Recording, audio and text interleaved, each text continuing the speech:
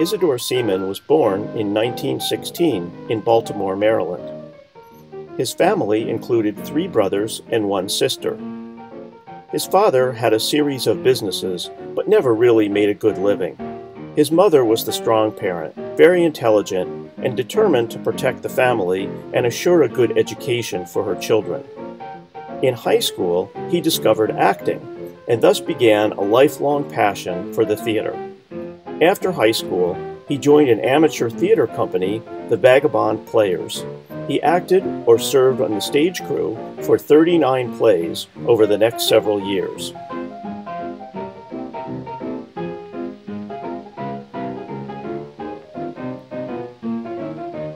In one production, he played the role of Sam the Barber, thus earning him the nickname that would stick with him through today.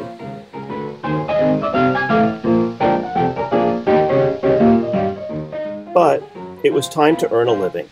In 1936, he followed his brothers to Maryland State Teachers College at Towson, and then on to teaching in the Baltimore City Public Schools.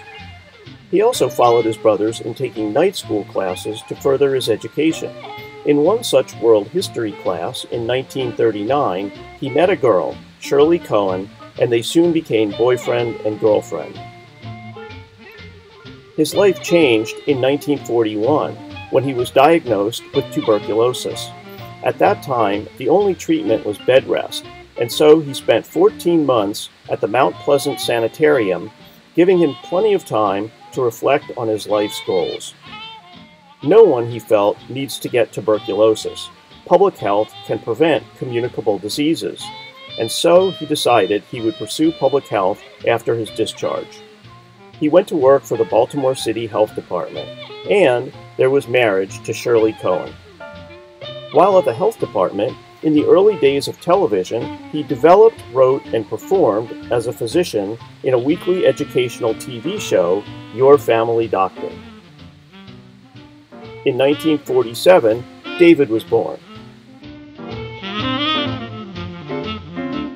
In 1949, the family moved to the Washington area so he could take a challenging new job with United Community Services. Johnny arrived in 1951 and Philip in 1958. Sam rose to become executive director of United Community Services, but he saw a need for a larger region wide agency to coordinate community services, so in 1957 he designed and led the creation of the Health and Welfare Council of the National Capital Area and served as its executive director for the next 15 years. One of the efforts he supported was Lyndon Johnson's Model Cities program, and he was invited to the White House for the bill signing and to meet the president. He followed his HWC tenure with a move to the federal government in 1972 and held a series of executive positions with the Department of Health, Education, and Welfare and its successor HHS until his retirement in 1992. And, as if that wasn't enough, he contributed in a number of other ways. At Kaiser Permanente Mid Atlantic, he served on the Kaiser Board of Directors, as well as several institutional review boards. He served as president of the Metropolitan Washington Public Health Association and founded the Metropolitan Washington Public Health Assessment Center. And he served as president of the Reconstructionist Havurah of Greater Washington for over 15 years. In addition to work life and public service, family has always been important. Trees of green, red roses too. I see them bloom for me and you, and I think to myself, what a wonderful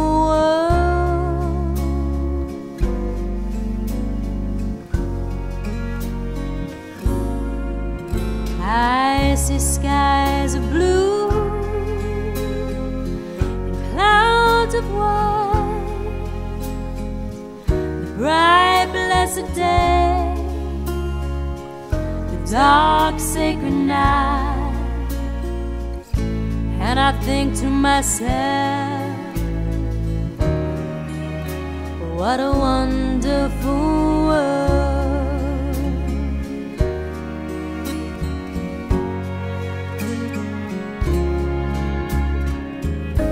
Colors of the rainbow so pretty in the sky are also on the faces of people going by. I see friends shaking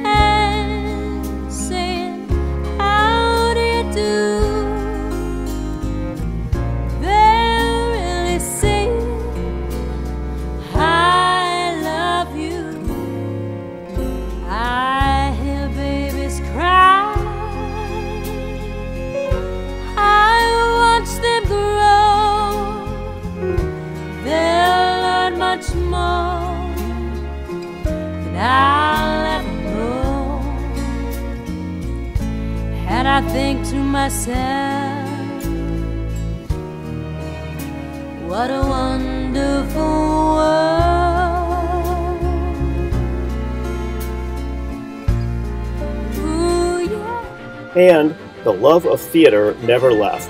Several years ago, Sam wrote and performed a one man play about the life of Beethoven.